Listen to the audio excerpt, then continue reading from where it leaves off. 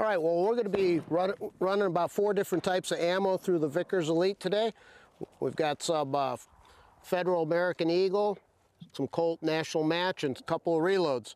So let's go ahead and get started. We're going to start first with a 115 grain Federal American Eagle.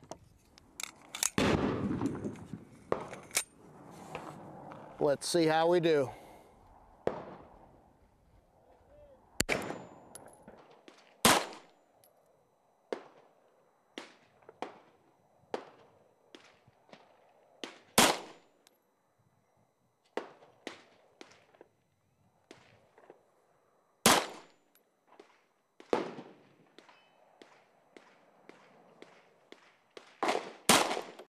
Wow, this is a sweet shooting gun. That was a pretty good group.